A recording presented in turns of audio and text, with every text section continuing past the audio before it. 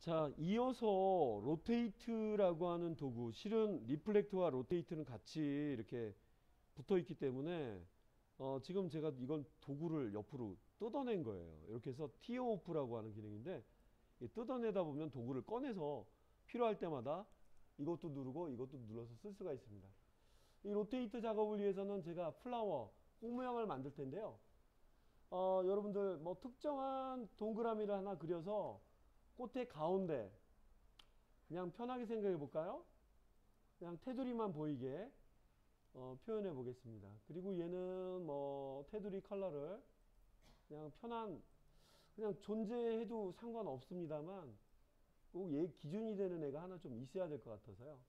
자 이렇게 해서 락 컨트롤 2 잠궈봤고요. 이 선택하신다면은 컨트롤 2를 누르면 어, 대상이 잠궈지죠. 그 다음에 꽃 외곽에 있는 수, 꽃수를 만들려고 하는데 이렇게 어, 예, Alt키 누르면서 이렇게 동그라미를 그리시게 되면 가운데를 기준으로 해서 Alt키는 센터죠. 아, 예, 뭐, 이게 어때? 넓어? 너무 넓어? 예, 오, 좋아. Shift는 안 눌러요. Shift를 누르면 이런 모양이라 이건 원치 않은 모양이라 제가 여기까지만 한번 해볼게요. 자, 지금 보이는 대상 컬러는 피, 어, 예, 이렇게 해서 제가 stroke color로 swap fill and stroke 이렇게 눌러 보겠습니다.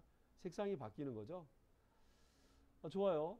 어, move 즉 selection tool을 이용해서 대상을 선택해 봤는데 지금부터 이 로테이트 도구를 사용하는 방법을 통해서 꽃이 잠깐만요. 알트 누르면서 조금만 조금만 예, 모서리를 이렇게 줄이시게 되면 예, 여기 예쁘게 좀 돌아가야 될 모양을 지금 만들려고 하다 보니까 이걸 이렇게 좀 모양 잡아봤습니다. 자, 뭐 어떻게 되는지 알트는 진짜 많이 쓰는군요. 알트 예, 오 그만 좋아요. 몇 바퀴가 돌아가는지 여러분들이 체크하셨다가 하실 수 있어서 자 회전 도구 사용법을 지금부터 보여드릴게요. 이게 회전 아닙니까? 이것도 회전은 맞아요. 예, 바로 move tool, 즉 selection tool에서도 회전할 수 있지만 차원이 틀립니다. 일단 1번 대상을 선택한다. 2번 회전 도구를 누른다. 3번 중심이 되는 즉 기준이 되는 파트를 Alt 키를 누르면서 클릭한다. 하면 옵션이 이렇게 나타나는데요. 옵션이 상당히 복잡해 보이죠? 어, 여러분들 혹시 저 대상을 360도라고 하는 각도 안에 어, 꽃이 20개가 배치가 돼야 된다면 각도를 몇으로 해야 될까요? 계산기라든가 이런 거 누르신 다음에 calculator를 키신 다음에 여기 angle을 여러분들이 입력하시게 되면 몇 개 정도 될까요? 여러분, 어? 각도. 열, 어, 18도? 어, 일단은 18도 기준으로 제가 여기다가 써볼게요. 18도. 자, 미리 보기를 눌러볼게요. 미리 보기를 껐다 켰다 한번 해볼게요. 오, 18도. 오케이. 예, 미리 보기 보신 후에 카피를 눌러볼게요. 일단 맞다고 생각해 보자고. 자, 지금 이 대상, 이 대상 상태에서 에디트에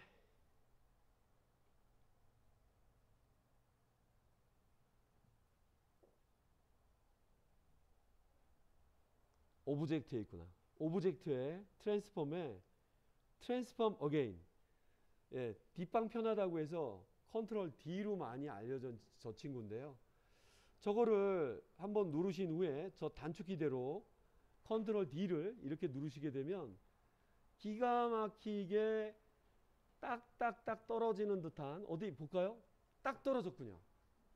딱 떨어진 형태로 해서 공학적으로 이 개체가 어, 앵커 포인트, 즉 가운데 기준으로 해서 쭉 돌아가는 듯한 어떤 장면을 만들고 싶다 할 때 이렇게 체크해 주시게 되면 아주 깔끔한 뭐 회전 돌기라든가 이런 파트를 만들 수가 있습니다.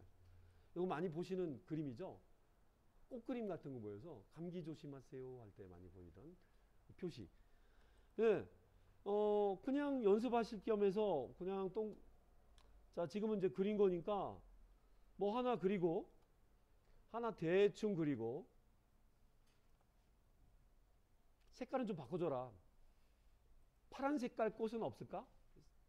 틀을 좀 깨보자고요. 펜툴. 펜툴은 왜요? 어, 모서리를 Alt키로 꾹 눌러주면 이렇게 뾰족해 보이는 듯한 장면을 쉽게 만들거든요. 이거 잠깐 보세요. 모서리를 펜툴 펜툴을 이용해서 Alt키 누르면서 콕 클릭하면 이렇게. 예. 지금 제가 보여드리고 있는데 이게 반복적으로 보여드리기엔 좀 그러지만 이렇게 놨다. 어떻게? 모서리를 펜 Alt 여기 있는 포인트 클릭. 나뭇잎처럼. 어, Alt 키는 그 자리를 커브 형태로 만들거나 코너 형태로 만들어주는 어, 두 역할을 좀 해주는데 진짜 뭐 여기저기 진짜 많이 쓰여요. 뭐 똑같은 예로 어, 네, 뭐 지금 요 모양을 좀 저는 이걸로 하려고 좀 해봤던 건 아니었지만 이렇게 좀 돌려볼게요. 여기도 한번 부탁드리면 안 될까요? 여기요? 예, 여러분 P English로 놓고 pen tool 놓고 Alt T 어때요? 어, 괜찮죠? 어, 알아두시면 좋아요. 다음에는 역시 근처. 요번엔 각도 안 제거할게요. 여러분 각도 재면 좀 싫지? 계산하기 좀 계산하는 건 좀 싫어요. 자, 로테이트. 여기 간판 보이네요. 사인. 대상을 선택한 다음에 도구를 누르고 Alt를 누르면서 기존 점을 클릭한다. 미리 보여주는데 내 마음대로 해야 되겠다. 뭐 모르겠어요. 모르겠고요. 그냥 저는 25도 놔볼게요. 미리를 볼 수가 있어요. 미리를 껐다 켰다 한번 해보셔야 돼요. 근데 너비가 너무 넓으면 애들이 겹쳐 보일 수가 있겠죠. 그러니까 그런 부분을 좀 고려를 해주면 좋아요. 시계, 와치가 그렇죠.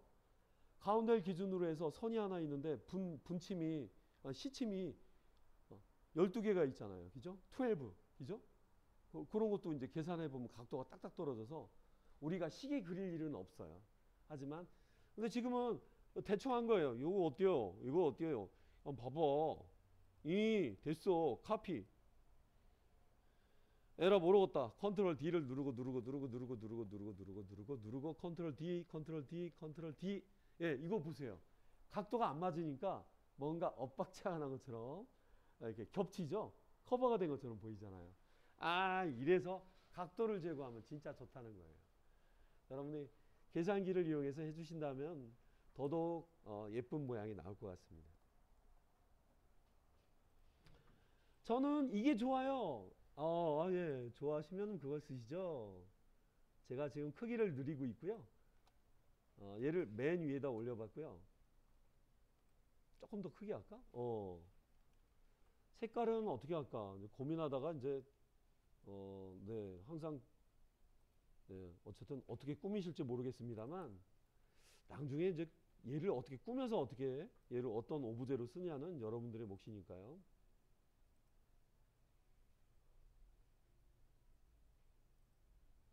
아이고 이거. 예 언두.